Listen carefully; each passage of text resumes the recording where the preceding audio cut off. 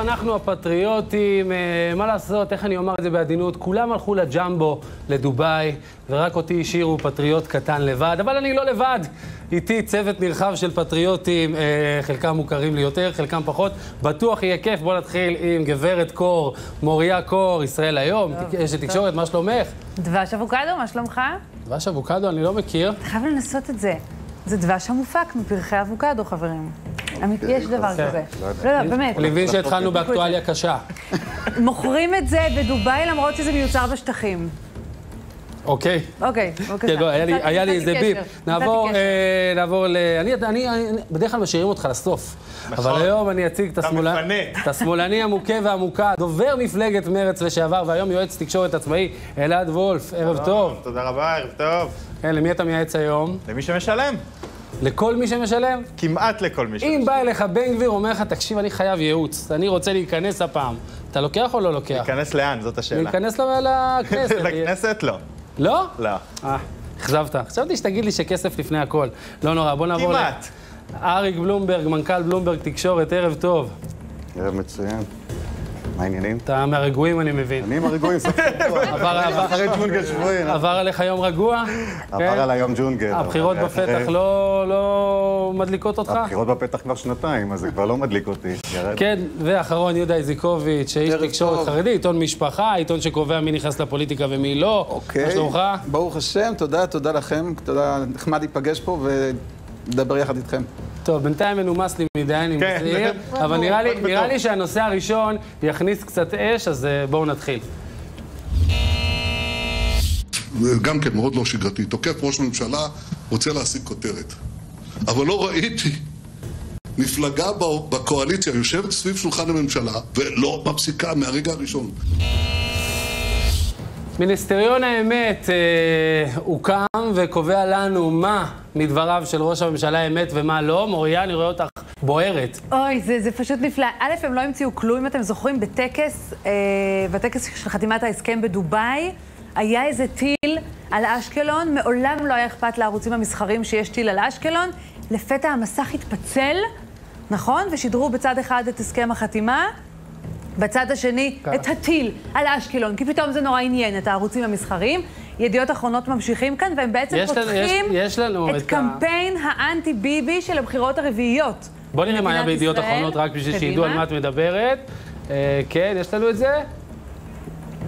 עוד שנייה יהיה לנו את זה. אוקיי, אה, ידיעות אחרונות בעצם עשו כפולה שמנתחת את הדברים של ביבי ומסבירה לקורא הנה, האהבל. הנה, הנה, הנה, הנה, הנה, בבקשה. שלב ההוכחות, ידיעות אחרונות, אה, ובאמת, בעוד שבטלוויזיה עוד זה עובר מהר, בידיעות אחרונות אתה יכול להתעמק ולראות איך העובדות הן משהו שמישהו כתב ומישהו אה, סידר. יהודה, אתה נראה לי לא מתרגש כל כך. תראה, הסיפור של התקשורת והגישה שלהם כלפי נתניהו זה סיפור ארוך עם זקן לבן מאוד. אני חושב שסך הכל עוד יש מטבח באותו אה, חומה שיש בין שתי הצדדים האלה. לא, לא מרגש במיוחד, אני לא חושב שזה גם מרגש את הקוראים כל כך. זה עוד פרק קטנטן בסיפור הארוך הזה מאוד. אני, אני באופן מסורתי בפטריוטים, תמיד בשלב הראשון של הפאנל, כן. מפתיע, ולוקח את העמדה, לא זה, אני גם צייצתי על זה היום לזכותי. אוקיי, אז מה, אני אתה חושב, מתנגד? אה, כן, אני מתנגד לזה ב- באופן מסוים, כן?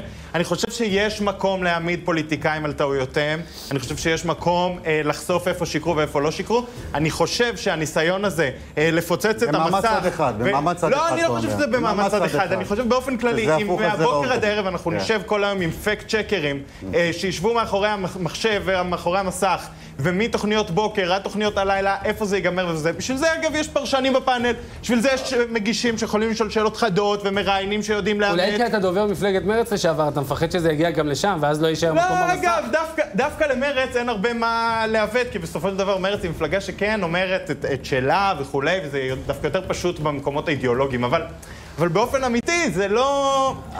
זה בוא לא נאמר מוביל שבאופן לשם אמיתי, הסיפור אם. רוצים לחשוף דברים בעייתיים שנתניהו עשה, הם קיימים. אבל להתווכח על כך שאי, הממשלה הייתה קיימת שלוש וחצי ולא כן, חמש, זאת זה- רמה כך- כן, נמוכה, זה לא מחזיק מים. תשמע, אני אגיד לך, השמאל לא, לא מבין את העיקר, וכל פעם הוא עושה את ההבחנות בין פרוצדורה לבין מהות מתי שבא לו. ואתה מסתכל על הסעיפים האלה ואתה צוחק, אתה אומר, כאילו, מה, מה, מה נסגר איתכם? על מה, על מה, על מה, על מה אתם נתפסים מתי שנוח אני לכם? חושב שזה בעיקר- כל העניין הזה של ידיעות אחרונות, אני אומר לכם את האמת, ידיעות אחרונות מרימים לימין בלי הפסקה. בכלל, כל, כל גוש השמאל עושה את כל מה שאפשר בשביל לעשות את החיים קלים לימין. תשמע, נראה לי נראה לי זה הרבה יותר פשוט וזה נראה. שיש איזושהי אי נראה לי הבנה, שזה- אני- איזושהי אני הבנה, שיש איזשהו יהודה, שינוי אתה- כתוב יהודה, של מה אתה אבל שקורה. במפה האידיאולוגית זה במדינת ישראל. אתם אה, לא... יהודה, אתה קצת לא מפתיע אותי, כי השתחררתם. הציבור החרדי, אוקיי, וכמות הרפש שמושלכת עליו באולפנים, אם הייתה בדיקת עובדות על דברים כאלה, זה היה עוזר לכם מאוד, הרבה פעמים. ואתה אני- רגוע, אתה לא, יושב לי רגוע. זה נראה כל כך לא רציני. הרי אם תתפוס כל בן אדם, כל בן אדם, ותבחן אותו, תמצא אותו אי אילו דיוקים, לקחת ולהפוך את זה ל... מה עשו, שתי עמודים מהדבר הזה? וואו, באמת מרשים. מגוחך באותה מידה שזה מרשים. אני לא, לא מצליח להתרגש מזה, אני לא חושב שמישהו שבאמת קרא את זה התלהב ואמר, וואו, בגלל זה אני משנה דעתי על מישהו. עזבו אתכם, זה עוד איזשהו... כן, טוב, וגם אולי זה... התקשורת יש שם באמת אני. באמת חושב באופן אמיתי שהתפקיד של עיתונאים הוא לשבת ולעמוד מול המרואיין או מול זה ולהגיד את העובדות ועל מראיין ועל עיתונאי לבוא מוכנים לרעיונות ושם זה צריך להימדד. ואני אענה לך לסיום, כל המהלך הזה הוא חו- הוא חוסר ביטחון אה, באנשי התקשורת, כי אם היה יושב אה, כל אחד מפרשני ערוץ 13 ואומר את בקרת העובדות האלה, אנשים היו אה, משתעממים. ברגע שאתה שם שקופית, אתה יודע, היא לא שיקרה לך בעבר, אז אתה עוד יכול לקנות את זה. בואו נתקדם. אם יאיר לפיד ומרצ ישנו את הרטוריקה שלהם ויסכימו לקבל את זה שעכשיו אפשר רגע לשים את המלחמות בצד, להפסיק לשסות אה, את, הציבור, את הציבורים זה בזה, להפסיק לדבר על החרדים כמו שהם מדברים, להפסיק לדבר על המתיישבים כמו שהם מדברים, להפסיק לאיים בפינויים וכולי, כן, מה כן? תקימו ממשלה עם מרץ ועם לפיד? אנחנו, אנחנו נקים ממשלה, אני שוב אחזור, אייכלר, אני אומר את זה בצורה הכי ברורה שיכולה להיות בעולם. כל מפלגה ציונית שתס, שתבין את גודל השעה ותהיה מוכנה אה, להיכנס תחת האלונקה הזו ולשים רגע את הוויכוחים אה, בצד, תהיה, תהיה שותפה רלוונטית. מלחיץ.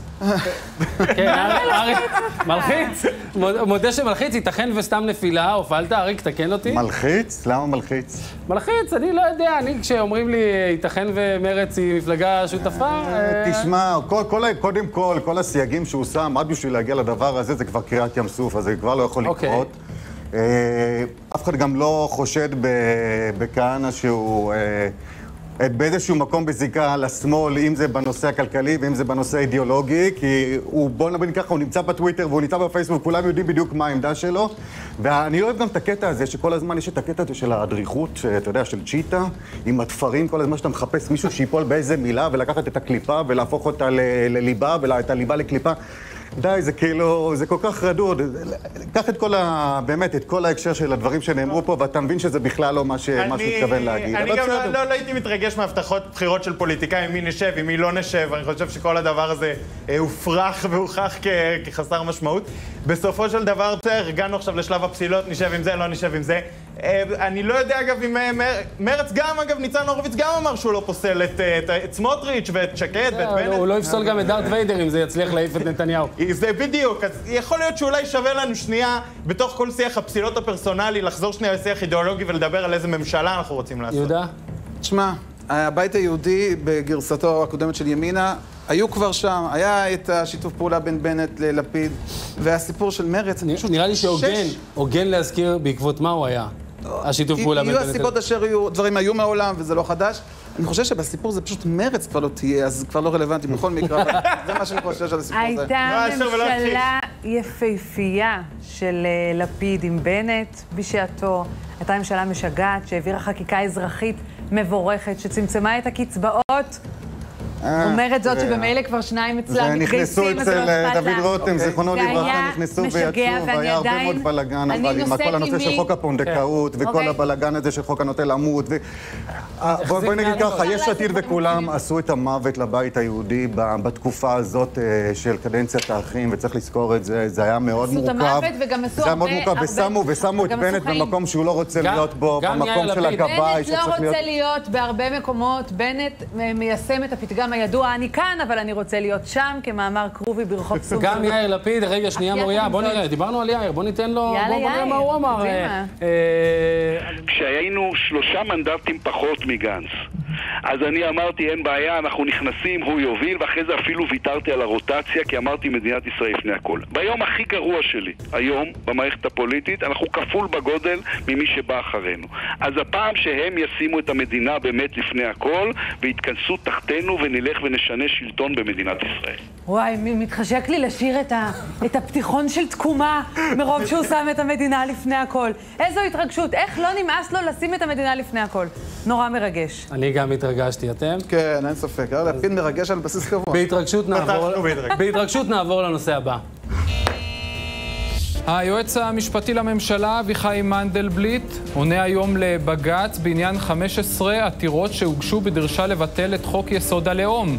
הוא אמר כי הוא מתנגד נחרצות להתערבות משפטית בחוק, זאת משום שמדובר בחוק חשוב לצביון המדינה, ומנגד הוא אינו גורע מזכויות הפרט של כל אדם.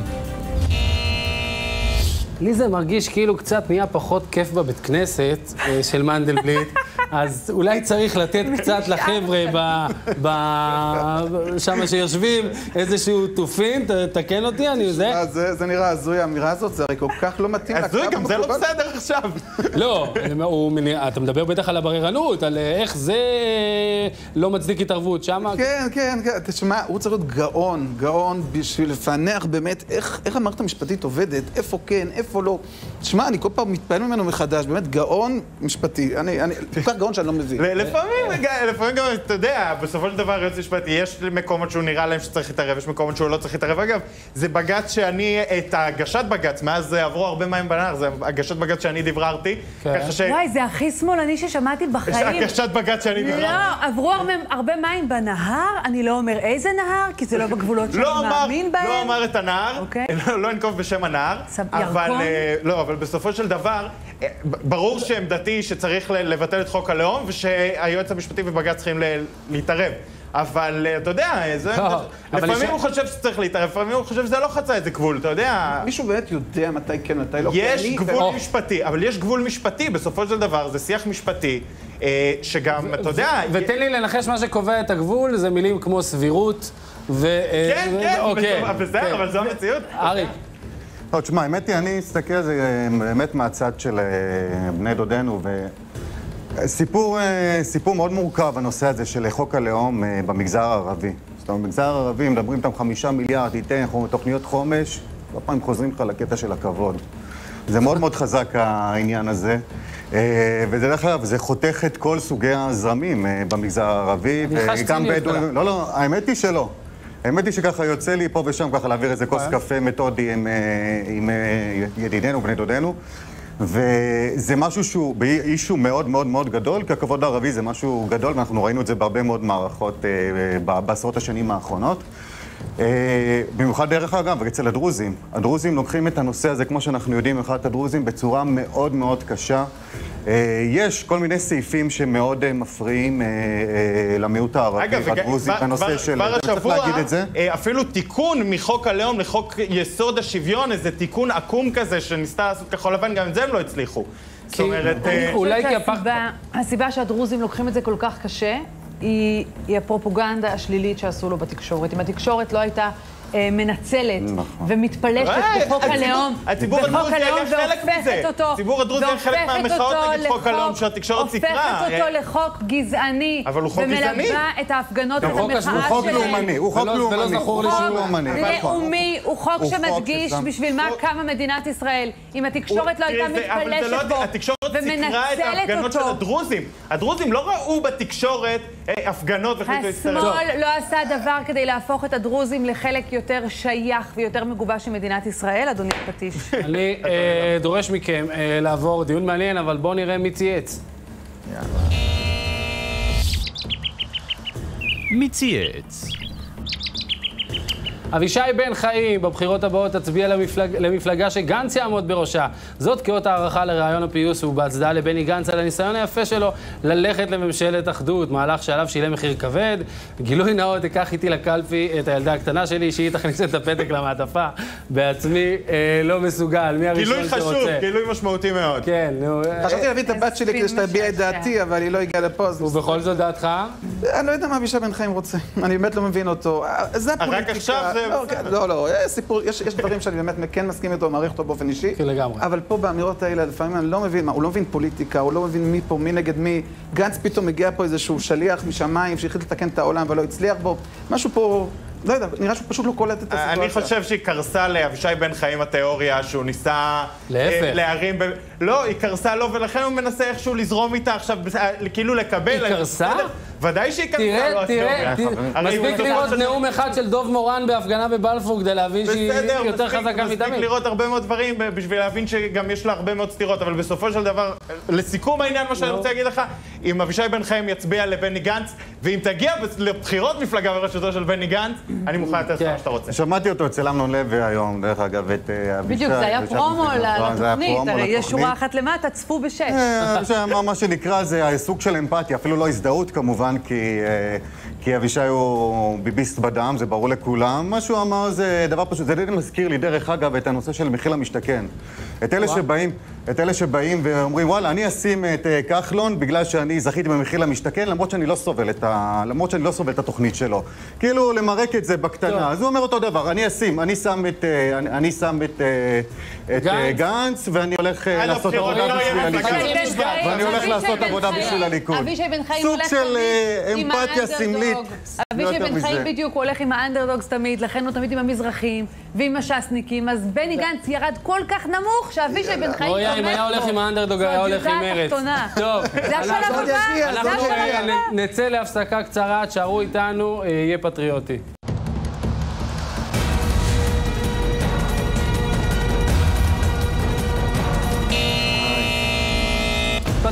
חזרנו, תודה שאתם חזרתם, ועכשיו, סקר. סקר ערוץ 20 ומכון מאגר מוחות של הפרופסור יצחק כץ. אילו הבחירות היו מתקיימות היום, לאיזו מפלגה הייתם מצביעים? הליכוד במקום הראשון עם 27 מנדטים, ימינה של נפתלי בנט עם 20 מנדטים, יש עתיד עם 16, הרשימה המשותפת עם 12 מנדטים, כחול לבן של בני גנץ עם 9 מנדטים בלבד, ש"ס עם 9 מנדטים, יהדות התורה עם 8 מנדטים, ישראל ביתנו עם 7 מנדטים, רשימה בהובלת רון חולדאי גם היא עם שבעה מנדטים, מרץ עם חמישה מנדטים בלבד. הבית היהודי, עוצמה יהודית, גשר ודרך ארץ לא עוברות את אחוז החסימה. פתאום קלטתי שארבע מפלגות שהן חצי ימין לא עוברות את אחוז החסימה, זאת אומרת, הפוטנציאל הוא עוד יותר גדול, אבל אני אתחיל איתך, אלעד. כן. בוא'נה, אתם צועקים פה שנה, הכל על הפנים, הכל חושך, הכל נורא. בסוף אתה מסתכל על המספרים, נכון, הליכוד יורד, אבל... אבל אפילו המפלגה השנייה היא לא מהאופוזיציה. נכון, וי- לא, ימינה באופוזיציה. כן, היא לא מהאופוזיציה הרעיונית. אז אבל זה, זאת השאלה, אם איבדנו את האופוזיציה הרעיונית. זאת אומרת, אם כל האופוזיציה שלנו היא, היא לא מהותית אלא אה, ביביסטית, כן ביבי לא ביבי, אז בנט הוא במחנה, אה, היום במחנה לא ביבי, במחנה אופוזיציה. אגב, זו- הטענה שלי היא לא שה, שהשמאל צריך לחבק את בנט, אלא בדיוק להפך, להתחיל להשיג אה, אופוזיציה רעיונית שהיא קצת, אה, שהיא קצת יותר מביבי. לא מוריה. יודעת, אתה אומר, הכל זה, הכל זה לא מהותי, זה לא ככה, זה לא ככה. היום ישבתי ב- באיזו שיחת הפקה עם צוות הפקה, והם שאלו אותי, מי בעצם יכול אה, לפנות היום את השטחים? אמרתי להם, תגידו, אתם צוחקים עליי כאילו?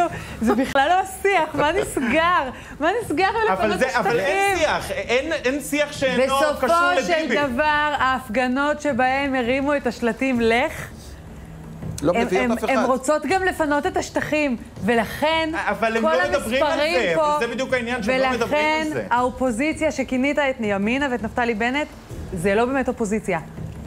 ואין כן, שמאל. כי היא כן נותנת אין. שמאל, והמספרים האלה... יש פה נתון אחד שסקרנו בחשבון. שני המועמדים הכי בולטים הם שייכים בגדול לימין, איך שלא נסתכל על זה. ברור. וזו אמירה מאוד מאוד חד משמעית לגבי לאן פני האזרחים. אבל יש פה עוד אמירה שצריך לקחת בחשבון. כחול לבן, תשעה מנדטים, לא חושב שזה מה שיקרה בסוף. זו מפלגה שלא השיגה שום דבר בקדנציה הקצרה שהייתה להם. לא רואה איך מישהו מצביע דיבר, להם. דיברת על אה, שני מועמדים, בוא נראה שנייה, יש גם למה? אה, היא חלק... היא השיגה חלק- שר נוסף במשרד הביטחון. חלק שני לסקר מדבר על אה, אחוז ההתאמה לראשות ממשלה, בואו נראה את זה שנייה. בתשובה לשאלה מי המועמד המתאים ביותר לכהן כראש ממשלה, אלו התוצאות. ראש הממשלה בנימין נתניהו מוביל בפער ניכר עם 27 אחוזים, נפתלי בנט ויאיר לפיד עם 17% כל אחד, בני גנץ עם 9% בלבד, 30% מהנשאלים השיבו כי אינם יודעים. אריק. תשמע, ראיתי, כולנו ראינו אתמול את אה, נתניהו ככה בנאום שלו, זה כאילו הוא נמצא עכשיו בקונגרס, אתה יודע, אה, הוא עוקף את אובמה, הוא נמצא בעצרת האו"ם, בשיא הביטחון שלו, מבסוט, בן אדם, תשמע, הימין חזק בצורה מטורפת, השמאל מפורק, מה זה מפורק? כן, אבל... אני לא אוהב את השאננות שלך. אני אגב, חושב שאתה זהו, טועה. בדיוק, אני רוצה להזכיר. לכם. הבחירות שבהן השמאל הכי היה קרוב לגוש. חוסם, בחירות 2013, לא היה אף מועמד מול נתניהו, כל שמאל היה שברי מפלגות, מפלגות בינוניות, והימין נרדם, ואיכשהו השמאל הביא גוש חוסם בבחירות האלה. זה יכול לקרות גם עכשיו, זאת אומרת, אם דווקא ההצבעה תהיה בתוך השמאל אידיאולוגית וכולי, והימין יירדם, השמאל יכול אה, תקשיב, לעשות... למ- למה יש- ש- למה יש שהדבר הזה יקרה? באיזה קונסטלציה נורמלית. באיזה מציאות נורמלית במדינת ישראל, כשאנחנו רואים מה שקורה, ושיש לך ראש ממשלה שהביא עכשיו שלושה הסכמים, מדינות, אנחנו בדיוק עכשיו סופרים בסדר, 25 אבל שנה. באיזה קונסטלציה 25 נורמלית שנה יש לספר בישראל שכולם חתמו עליו. כן והנבואה הזאת מתגשמת צעד אחרי צעד. באיזה קונסטלציה. באיזה... פרקליטות מיסוי וכלכלה ביקשה היום לדחות את בקשתו של ראש הממשלה בנימין נתניהו לביטול כתב האישום נגדו. בתגובה לטענות המקדמיות שהגיש נתניהו מסרו בפרקליטות כי הטענות של הנאשם משוללות כל יסוד וכי לא נפל כל פגם בהליכי כתב האישום. באשר לטענתו על מהלכי חקירה פסולים ואלימים, אמרו בפרקליטות כי לאחר שמיעת הראיות תתברר לבית המשפט התמונה העובדתית המשקפת את האמת. טוב, לא, לא מפתיע כל כך שהפרקליטות אומרת הכל היה לפי הספר, לא, יהודה? תראה, הייתי יכול לנסח להם את הדוברות שלהם, זה הרי כל כך צפוי. הם יגידו את שלהם, והם יגידו מצד שני, אבל זה יהיה באמת מעניין לראות ככל שהעסק הזה ילך ויתקדם, והמתח ילך ויגדל, האם יהיה פה עוד שפנים שיצאו מהכובע ויתחילו להפוך פה את הקערה על פיה. בינתיים זה נראה די מינורי, אבל זה משחק מרתק, בעיניי זה משחק, זה לא סיפור אמיתי, זה מה לא זאת אומרת? מלחמה. כן, אני לא חושב שיש פה באמת כתב אישום אמיתי, אני כן מתרשם.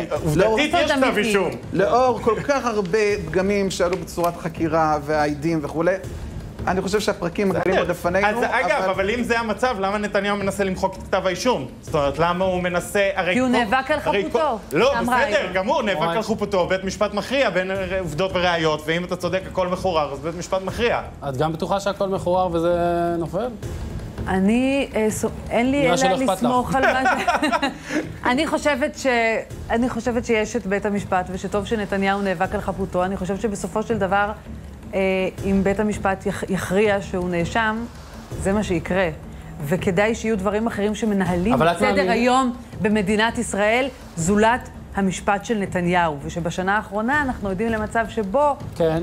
אנחנו מתנהלים בעיקר לפי... לא יודע, אני ראיתי אה, שלום עם אה, דובאי והאמירויות, ראיתי עכשיו אה, חיסונים שמגיעים, ראיתי אה, אה, פתרונות כלכליים, חלקם טובים, חלקם... אתה יודע, כל, כל התזה הזאת שמתעסקים רק במשפט של נ- נתניהו, בסדר בעיניי. בדיחה. אז למה אנחנו מתעסקים בזה פה? ראיתי- בוא נעבור לאייטם. לא, אבל. בסדר, לא, אבל אני בסופו של דבר. גם יש סיבה שאין תקציב מדינה, בסופו כן. של דבר יש סיבה שאין מפכ"ל, בסופו של דבר יש סיבה בסופו שעדיין... של אין דבר, גוש. הימין התפרק אה, מסיבות אה, לא פרסונליות, נכון? הוא התפרק אה, מסיבות של שנאה מסיבה אידיאולוגית. אה, שנאה, נכון. שזה לא פרסונלי, כי לא, זה פרסונלי. זאת מילה לא מי אמר שפוליטיקה זה לא פרסונלי? אתה- זה זה לא פרסונלי, פוליטיקה? פוליטיקה זה פר- זה רק פרסונלי. כאילו, נכון. מה- אז אם זה פרסונלי ולא אידיאולוגי, אז אולי אנחנו... אבל זה לא בהכרח קשור למשפט. כן. קודם כל פרסונלי, אוקיי, אחרי זה זה לא מתעסקים קשור בדיאלוגיה, זה נכון.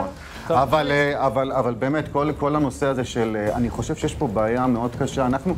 תראו, אנחנו ציונות דתית, וזה בכל זאת, עם כל הזה, אנחנו מאוד ממלכתיים, גדלנו, חלקנו, כן? גדלנו על כל הנושא הזה שבית המשפט העליון, לפחות לפני 15-20 שנה, כן. זה קודש הקודשים של הנושא... רק מזכיר לך שלפני מדברים, כן, 15 שנה 15 הייתה התנתקות, אוקיי? נכון. יש- ובית המשפט העליון דפק. אתכם יופי בוא יופי. אחורה. שם, התחילו הבקים בצורה מאוד מאוד משמעותית, כי זה ברור, כי נעשה פה, באמת, אבל הכניסו אידיאולוגיה? לתוך ל- המשפט, אבל לא- אני אומר... לא מאמינים יותר בבית אני, המשפט. זה לא שלא מאמינים יותר בבית המשפט, אני חושב שיש פעם בעיה. קראו לדתיים ללכת לתקשורת, היום קוראים. להם לכבוש את מערכת המשפט. יש בעיה מאוד קשה למערכת. המשפט בישראל שאין שום הלימה בין הרוח הציבורית ואיך שרואים את המוסד, שהוא באמת בסופו של דבר ליבת, ליבת הצדק של מדינת ישראל, לבין העובדה שאנשים לא, לא לא. מקבלים, לא, מק- זה לא, לא לא, לא מקבלים. לא לא צריכה מקבלים, לא, לא מקבלים את המקום הזה, לא מקבלים את המקום הזה כמקום בלתי. תלוי, וזאת בעיה מאוד מאוד קשה של בית המשפט, באופן כללי, בלי שניכנס בסדר, עכשיו אבל לכל הפרטים הרגילים. עושה, אתה הולך לבית משפט בכוונה, אתה לא עושה משאל עם, אתה לא בודק את השאלות האלה ב... בזה, בשביל זה יש בית אתה משפט. אומר, נשאר עם הגברים האשכנזים המבוגרים, נכון? לא, אגב, אני לא יאללה, נגד בואו רפורמות בבית נתקדם. משפט. מזוז לא אשכנזי. אני מתמודד בתפקיד נשיא המדינה. אני בהחלט אה, חושב שזה אחד התפקידים שאני יכול למלא. אני אה, יודע על, ה, על היכולת שלי ליצור הידברות גם עם החרדים, גם עם החילונים, גם עם הימניים, גם עם השמאלנים, כי כולם יודעים להעריך את עמדותיי. אחרי יורם גאון מגיעה הפצצה הזאת. אה, כן, יהודה. אה, קודם כל, שמישהו יסביר לי מהו בדיוק תפקידו של נשיא המדינה, כי אני קצת מתקשה להבין, הוא יושב שם בבניין מאוד מאוד תפקיד יפה. סמלי, אה, לנסוע לקוקטיילים, לארח חיילים ביום העצמאות ששרים. מה אוקיי, תפקידו של. עמיר פרץ?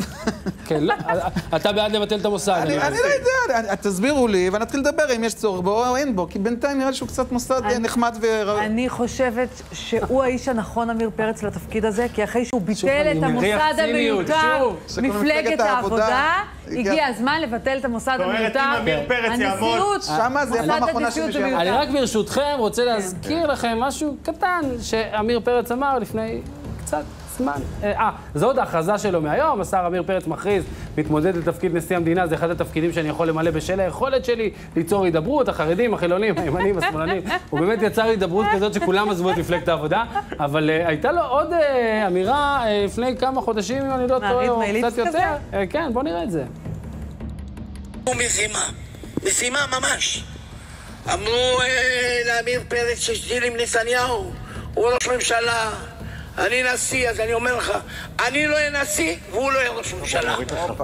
אה, אח טבעי, ריצתו אח טבעית. היה- היה צריך להפר הבטחה אחת, עכשיו זה הזמן להפר הבטחה שנייה, לפחות זה בן אדם עקבי. וואי, זה כן. כמו המשל עם רבי עקיבא והשועלים. פשוט זורק אותי לבית המקדש. הייתי פה. אתמול, אה, ועלתה קונספירציה שבחירת הנשיא הבא היא בעצם בחירת האיש שייתן או לא ייתן חנינה לנתניהו. אוקיי? גם, אתם חיים?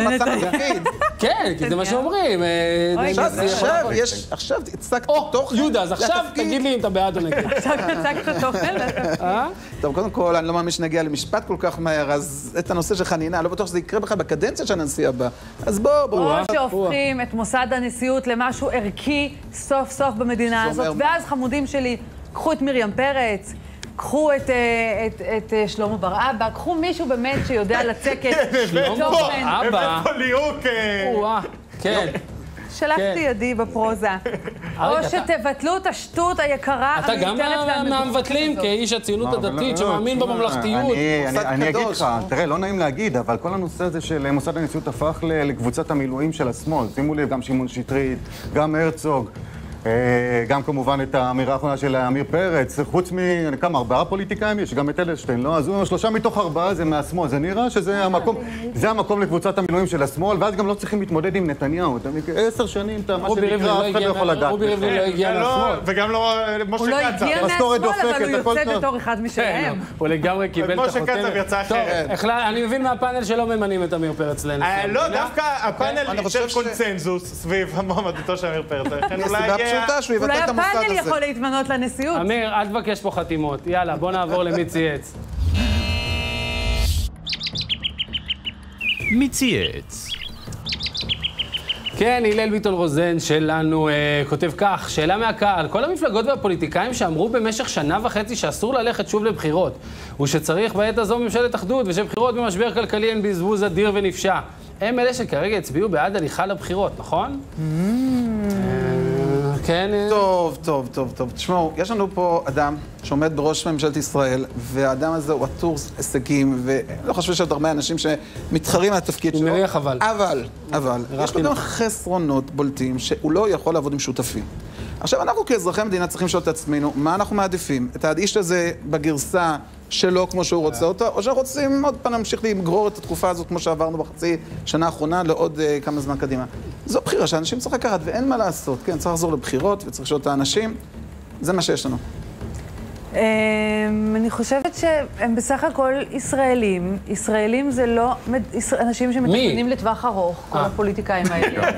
אז, אז אוקיי, ברומא התנהג כרומני, הם ישראלים, הם לא רגילים לחשוב קדימה, הם עשו את מה שציפינו מהם. אני חייב, להגיד שבאופן כללי, טוב, זה לא חדש, אבל אני לא מצליח להבין את ההתנהלות של כחול לבן, אגב, בתוך כל הסיפור הזה.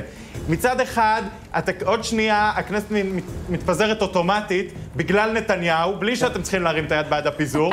אתם מעדיפים? להרים את היד במקום זה. ואם אתם כבר מרימים את היד בעד הפיזור כדי לשלוט בלוח הזמנים, ועדת הכנסת בידיכם, תעבירו אותה בשלוש קריאות על המקום, בלי למשוך את הזמן עכשיו עד הפיזור האוטומטי. זאת אומרת, מה, מה, אין- מה המהות של כל המהלך אין הזה? דבר שאני יותר אוהב לפני יציאה לפרסומות מאיש שמאל שיורד על כחול לבן. אז אה, תודה לך, אלעד. אנחנו אה, נצא להפסקה, תשארו איתנו, יש עוד המון על הפרק, כבר חוזרים.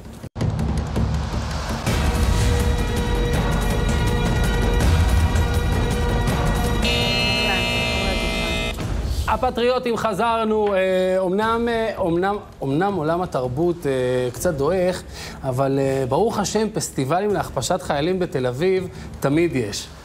בואו נתקדם. פסטיבל סולידריות, שיעלה הערב בסינמטק תל אביב, הוא פסטיבל קולנוע העוסק בנושאי זכויות אדם, ומתקיים מדי שנה מאז 2010. הפסטיבל נותן מדי שנה במה נרחבת לארגונים המפיצים את דיבתה של ישראל רעה ברחבי העולם, ומכפישים את חיילי צה"ל. קורא ומעודד כלשונו להתנגד לכיבוש, לגירוש פליטים, לביטול חוק הלאום ועוד. גם המילה סרבנות מופיעה בדף הפייסבוק שלו בגלוי. בשנת 2019 תקצבה העירייה את הפסטיבל בסכום של 50 אלף שקלים. באתר הפסטיבל מוצג סמל עיריית תל אביב, והעירייה מוצגת כשותפה לדרך. בחייאת. אלעד, לא נמאס לכם. די, די, לא נמאס לכם, לא נמאס לכם. די כבר, אף אחד די, לא קונה את זה. אבל גם לא כל התנגדות לכיבוש היא הכפשת חיילים, ולא כל... אה, זה בדרך כלל מגיע עם המון מחמאות. אה, נגד חוק הלאום, אה, הפסטיבל נגד חוק הלאום, בסדר, אז יש סרט נגד חוק הלאום, גם אני. אה, דיברנו פה, גם אה, יש. עוד אנשים שהם נגד חוק הלאום. שאלה איך היה לא מדבר איתי אלעד וולף אם עיריית. תל אביב הייתה תומכת בפסטיבל נניח שמעודד טרנספר. אז הייתי אומר שעיריית תל אביב לא צריכה לתמוך בפסטיבל כזה. אבל אה, הוא מעודד רנס? לא, אבל יש גם אה, הבדל, סבבה, בעיניי זכויות אדם זה דבר שהעירייה צריכה לתמוך בו, ולעודד טרנספר היא לא. זכויות אדם של מתנחלים, נגיד, מה עם זכויות אבל אדם של זה, אבל מתנחלים? בגלל זה זו עירייה פוליטית שמקבלת החלטות פוליטיות, זה בסדר, בגלל זה בוחרים מנהיגים. למה- אנשים בוחרים הנהגה. לא, לא, לא. כי אנשים? בוחרים הנהגה והיא מתווה דרך וזה בסדר, אבל למה לקרוא לכל- ל- להתנגדות לכיבוש אה, כי בדרך כלל זה בא ביחד. חיילים? בדרך כלל זה בא ביחד. יהודה? לא, יש פה גם בעיה. אתה טועה בזה שאתה אומר שזה גוף פוליטי. העירייה, מה פתאום? העירייה זה גוף ממשלתי, לכאורה. מוניציפלי, נקי? יש כללי התנהגות. לא בסדר, יכול אבל בסופו של דבר. היא נבחרת על ידי ח- אה, חזון נכון, פוליטי, שמביאים אבל אותו אתה לא לא שלטון הפקידים, אלא שלטון הנבחרים. ראש העיר הוא לא הקובע של כל מדיניות העירייה. העירייה היא דבר שהוא כפוף אני. שומע פה בדבר- תמיכה בשלטון הפקידות. אני שומעת פה שרון חולדאי הולך אה, לנחול כישלון חרוץ במידה והוא ייכנס למשחק הפוליטי. אני שומעת פה שהסקר שנעשה לפני חודשיים לא סתם הניב שישה מנדטים בלבד. אני שומעת שבאמת... שבעה. זה היה שישה, אני צופה עוד הרבה פחות ביום בהיר ביום בהיר וריאלי. בלי עננים, כן. ואני. חוששת שהוא יהיה ראש העיר תל אביב עוד הרבה זמן, מכיוון שלא כדאי לו לעזוב את זה ולהיכנס לחיים אבל האמיתיים אני ארגיז אתכם. מה, אתם כל כך מפחדים מעירייה שנותנת 50 אלף שקל לפסטיבל ארור ככל שיהיה? הייתם רוצים שהיא לא תיתן אה, כסף בכלל לשום פסטיבל, או רק ל... לא, תשמע, אני מאוד בעד פסטיבלים, אני אומר לך את האמת, אני מאוד אוהב את הקטע. יש לך ישיבה של פסטיבל. פסטיבלים זה דבר חזק. אני רק אומר, באמת, עם כל כך הרבה כסף שיש לכם בעיריית תל אביב, כל כך? הרבה ארנונה, לא לכם, לא התכוונתי אליך, שלא לא דיברתי אליך דווקא באופן אישי. כתושב העיר, אני מוכן לקחת אבל, אה, אחריות. למרות שאתה נראה תל אביבי, אבל זה לא העניין. אה, אולי פעם אחת באמת תעשו את פסטיבל סולידריות, ככה לנשים שנרצחות במגזר הערבי, לעובדה, לעובדה אביב שמוצאים פלסטינים, לעובדה שמוצאים פלסטינים לאור יום אה, במרכז עזה, בכיכר עזה, ויורים להם בראש בגלל שיש חשש של משת"פים זה לא. נכון, והיא מתעסקת אולי תיתנו איזשהו, אתה יודע, קצת לא קצת הומניות, גם כאילו, ב... גם אתם רק- רק ואני בשביל- שואל, היי, אני שואל מה עם סולידריות עם תושבי דרום תל אביב? או, זה- שחיים נטולי סולידריות מהעירייה שלהם עצמם מאוד כבר כמה שנים. מאוד חשוב תושבי דרום תל אביב. ואגב, אבל אתה לא יכול להגיד שעיריית תל אביב היא לא עירייה מעורבת, היא לא עירייה שמתעסקת גם בכל הנושא של מגדר. כל- היא כל כך. מעורבת, היא כל כך מעורבת שרק כן, לפני ארבעה מ- חודשים היא פתחה אה, קו מיוחד. קו מיוחד כדי להסביר לאנשים שרוצים לתרום את מענק הקורונה המיותר שביבי נתן, לעזור לאנשים למצוא עניים שאין להם כסף, לתת להם את המענק, כי בתל אביב אף אחד לא מכיר אנשים עניים. לא. אני עוקבת של פניה עוז בטוויטר. אני לא בטוח שאת צודקת. אני עוקבת של פניה עוז גם בטוויטר. חוץ מדרום תל אביב. וכולי, אבל זה לא לא- נקרא תל אביב. פסטיבלים, אותה עיריית תל אביב, כשהיה מדובר בפסטיבל חרדי, הם עמדו מנגד ועצרו אותם מכל מקום. הם לא עצרו פסטיבל חרדי, כן, הם רק לא הסכימו שחרדים הם יתנהגו כחרדים. הם עצרו הפרדה מגדרית. אבל עוד פעם, זה מה שאני טוען, בסופו של דבר זה הגיוני שיש מדיניות שמובילה. רק שנייה, סרבנות זו זה דבר המדיניות ש- לגיטימי. שתושבי טוב, תל אביב בחרו, הם בחרו סרבנות זה להגיד- דבר לגיטימי, שאת זה אפשר לתמוך, העירייה יכולה לתמוך בזה, אבל הפרדה מגדרית מ- של אנשים. שמשתתפים בו... כן, תרשו לי ברשותכם לעבור מתל אביב לעיר, למדינה ציונית יותר. יאללה, בחריין. We will treat Israeli products as Israeli products. Uh, so we have no issue with labeling uh, or origin. Uh, and uh, if the product conforms with our set of standards on and codes, then it will be accepted and entered into Bahrain. אה, בחריין מאגפת מימין את השמאל הישראלי, את מרץ במיוחד, תומכי אה, כל מיני אה, חרמות על. מוצרים מההתנחלויות, ואומרת, אותנו לא מעניין, אנחנו אה, לא נסמן מוצרים מההתנחלויות, נרכוש אותם. הציונים החדשים. כן, זה כואב, אה?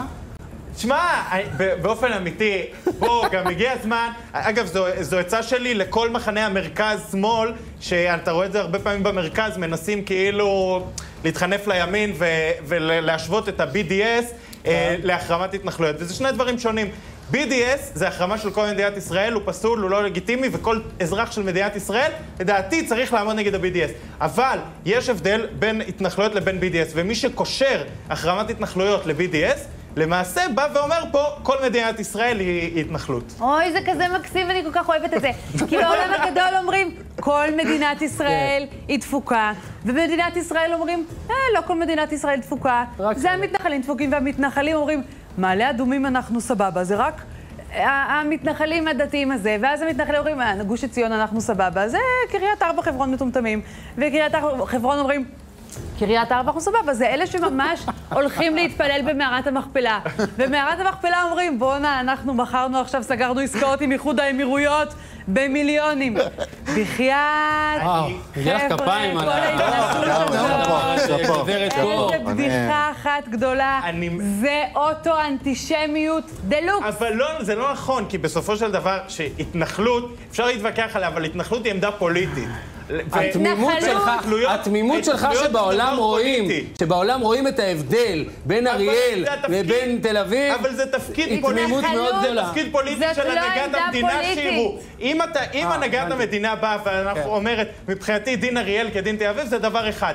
אבל אבל זה גם- גם לגיטימי האחרון שאמר משהו כזה פינה התנחלויות בסוף, אני לא רוצה להלחיץ, אמר דין נצרים. יהודה? אתה יודע, לפעמים טוב שיש מראה שמשקפת את המת כמו שהיא, ולפעמים טוב שמגיע אחד כזה מקטר או מאיפה שזה לא יהיה, בחריין. בחריין. ונותן... בחריין, בחריין, חבר'ה, משלנו. ישראל זו ישראל מהים ועד הנהר, וזהו. וזה מצב שהוא. פשוט מבין את המשמעות של המילה יהודה, אוקיי? ו- ואומר לעצמו שלא ייתכן שהיא לא שייכת ליהודים. אה, אריק, אתה רוצה להגיד יש משהו על זה? פרפרזה של, אתה יודע, של מלאכתם של צדיקים נעשית בידי מוסלמים. זה- אני... תשמע, לא, אני בס- מברך לכל הפחות את זה שהימין התחיל... אה, אתה מחרים מעניין אותי, אתה כדובר מרץ ואיש שמאמין במרץ, אני אתה... לא דובר את- מרץ. לשעבר, סליחה, רגע, לשעבר. אתה רואה טחינה, אה, איך קוראים לתחינה הטובה שלה? אלה, אלה, אלה, זה ברקה. זה- אבל הר ברכה אתה- זה מכינים ערבים, אני זה משתמש. רק בטחינה אתה אלר. מחרים? מה, טחינה הר ברכה זה של שומרונים. אתה מחרים או לא? התנחלויות. לא, שומרונים זה בסדר, שומרונים זה בסדר. אני באופן. אישי משתדל לא זה- לקנות. זה יהיה אתה אומר, נפרד. כל עם שיש ביהודה ושומרון והוא לא יהודים, אתה מוכן לקנות ממנו. העם הפלסטיני. זה עצוב, אה, אתה צוחק. ניסית לא להגיד פלסטינים. כן, לא... לא, כל העם, יש עוד עמים כן, ביהודה. ושומרון, חוץ מפלסטינים, הנה, למשל אה, השומרונים. נראה לי שמיצינו את הנושא הזה, נכון? יאללה, נקסט. באופן עקרוני, אם אנחנו מסתכלים על העובדות, אחת, יש עלייה בתחלואה. העלייה בתחלואה בהחלט גבוהה יותר מאשר היה בעיצומו של הסגר השני בתקופת החגים, יש עלייה במקדם ההדבקה. כל אלה ביחד, ללא ספק, מעידים על עלייה בתחלואה ועל הצורך לדון במגבלות נוספות כדי לשלוט בכך. אני בעיניי חזי לוי הוא קצת טעם נרכש, נכון? זאת אומרת, לי לפחות בהתחלה זה לא הבנתי, אבל אני חייב להגיד, באמת, שאני מתחיל לחבב את הבחור, הוא לא מתלהם, הוא מדבר אה, אה, זה, והוא אומר, יהיו הגבלות נוספות. אה... לא, הוא אומר, אנחנו שוקלים כן? להטיל. עכשיו, בוא חמוד, מה זה אנחנו שוקלים? אתה רוצה, תטיל, אתה לא רוצה, אל תטיל. מה אתה מכין אותי כל כך הרבה? למה, אולי מכין אותך כדי שתנהגי יותר יפה. אני, אני לא חדשה פה, כבר עברתי שני סגרים, על מי אתה עובד? אני בעד, אני בעד שיהיה סגר, אם צריך, זה מה שצריך לעשות, זה מה שצריך לעשות. חבר'ה, אנחנו כבר רואים את האור בקצה המנהרה, בואו נעבור את התקופה הזאת, נוריד את הראש ונעבור את זה, אבל אין ספק שהסגרים, כפי שהוכח, הם עובדים, אין מה לעשות. וטוב שיעשה את זה. זה.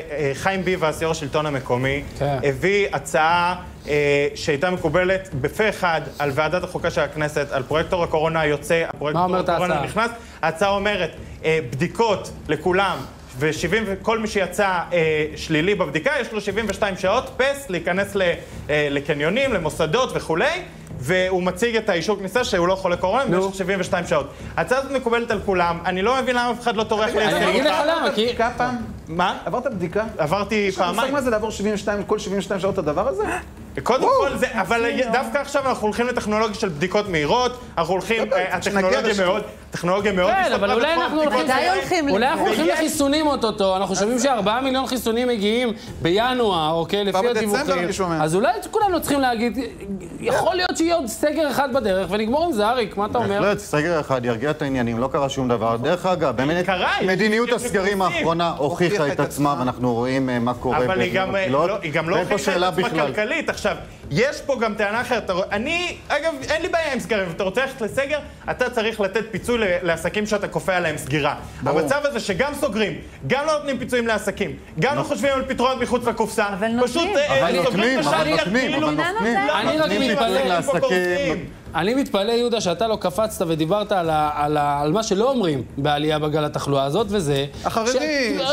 כן, נמצאים בתחתון... כן, כן, נכון. פתאום לא ממגזרים את העם אם אני אתחיל לדבר על החרדים והקורונה, אנחנו לא נסיים, ויש לנו בסך הכל דקות מוגבלות. בואו לא נסיים למה לא נסיים? לא, אבל... תראה, אני רוצה לומר דבר אחד לגבי הסגרים. אחד הדברים הכשלים בעיניי והדברים המקוממים ביותר שהיו, זה כשעשו סגרים על ערים חרדיות, ידעו לסגור את כולם בבת אחת. כשהיה אבל בשכונות חילוניות, זאת אומרת, היה סיטואציה של עיר מעורבת, ידעו להפריד בין שכונה אחת כן. לשכונה אחת. זה דבר שהפריע לאורך כל הדרך. כשזה היה מדובר בחרדים, אז יאללה, כולם... כי אתם מתלבשים אותו דבר, ונורא קשה להבדיל. קשה להבדיל. אתה מבין? זה בעיה. זה בעיה. מה שקרה עם המגזר החרדי בכל נושא הקורונה, הוא אגב בושה וחרפה, א', של הממשלה, וב', אה, בושה וחרפה של האופוזיציה. אה, חשבתי שתגיד של התקשורת. לא, אתה יודע מה? גם של התקשורת וגם של האופוזיציה, שבמקום אה, לבוא ולהביע סולידריות בחברה, דווקא עם מגזר ש, שיותר קשה לו, שחי בצפיפות, הלכו וניסו אה, לשחק בהפרד ומשול הזה. פשוט בושה וחרפה. אריק, משהו לסיום? חבר'ה, המגזר החרדי הוא לא כזה קורבני ומסכן. בסוף הוא זה שמחזיק את מדינת ישראל בכל קואליציה, והוא נעשה יותר ויותר חזק. בוא נפריד את בוא נגיד ככה, בוא נגיד ככה, גיור קטן, גיור קטן של גפני, וישר באים ונכנסים ללשכת נתניהו וכולי. אתה מאשים שר שמגהק? זה אני לא ראיתי. טוב, נסיים בהאשמה הזאת, נעבור למי צייץ. בואו נראה מי צייץ. שנייה, לקראת סיום. מי צייץ? השתניתי שם בזה בתמונה, אוקיי. יאיר שרקי, כבר מעייף לחזור על אותן מילים בכל הלוויה של רב בכיר, אז מזכיר את הפעם הקודמת. אם הפגנה באוויר הפתוח אינה מדבקת, גם הלוויה באוויר הפתוח אינה מדבקת. השאלה היחידה היא רק שאלת החוקיות, וזו כבר שאלה ערכית. חוק משקף ערכים ואפשר לשנות אותו, למה יגרע תלמיד בהלוויית רבו לעומת מפגין? כן, מוריה, צודק השרקי. שהוא כבר חוזר על זה כל פעם מחדש. כן. וכשהוא אמר את זה לעודד בן עמי, עודד בן עמי אמר לו, אתה צודק, אבל תקלה לא מתקנים בתקלה. כך הוא אמר לו על... יש לו תשובות מבריקות תמיד לעודד בן עמי. כן, מה? מה? אני, אני באמת לא מבינה איך עדיין יש את הדבר הזה, ושכבר יפסיקו להתייחס לזה, ואם באמת התחלואה במגזר החרדי כל כך ירדה, איך, איך ייתכן שעדיין אנחנו באותו שיח מגוחך של אפליה בין הפגנות לבין הלוויות? התשובה לזה, אגב, היא, היא כבר לא אוטו-אנטישמיות שהיה באייטם הקודם, היא אנטישמיות לשמה, חברים שלי. באנטישמיות לשמה נסיים. כמו תמיד. לא, נצא להפסקה, לא נסיים, נסיים לברייק הזה, נצא להפסקה, נחזור עם אה, עוד מכל הטוב הזה. תשארו איתנו.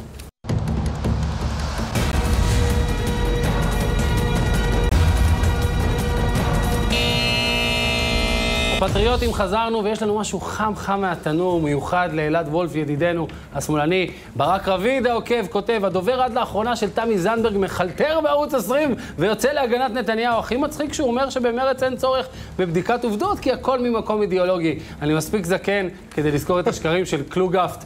בבקשה אלעד, יש לך משפט להגיב לו ל... קודם כל, חבל שאין fact checking גם על הטוויטר של ברק רביד, כי אני לא יצאתי להגנת נתניהו, אני רק דיברתי על התופעה של ה fact checking והאם היא נחוצה או לא נחוצה. מאוד אהבתי, מאוד אהבתי למה להגיד סתם? מאוד אהבתי את הריב הפנימי בשמאל, יאללה, מתקתקים.